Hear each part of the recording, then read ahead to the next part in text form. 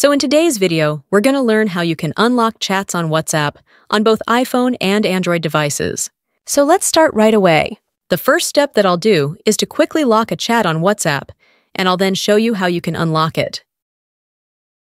So my chat is now locked, and I'll exit the WhatsApp application and then reopen it again.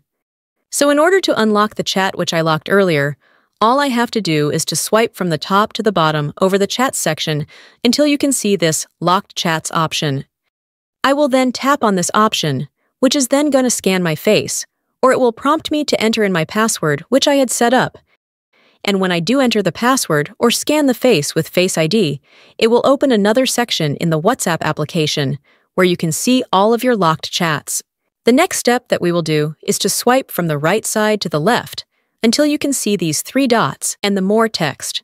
We will click on that and then find the Unlock Chat option right here.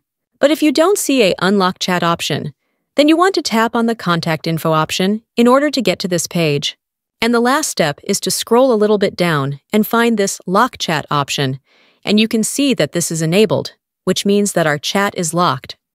Just turn this switch off or disable this and scan your face or enter the password in order for the app to authenticate that it's us. And that's essentially how you can unlock WhatsApp chats. If you have any questions about this method, make sure to leave them in the comments down below, and I'll see you in the next video.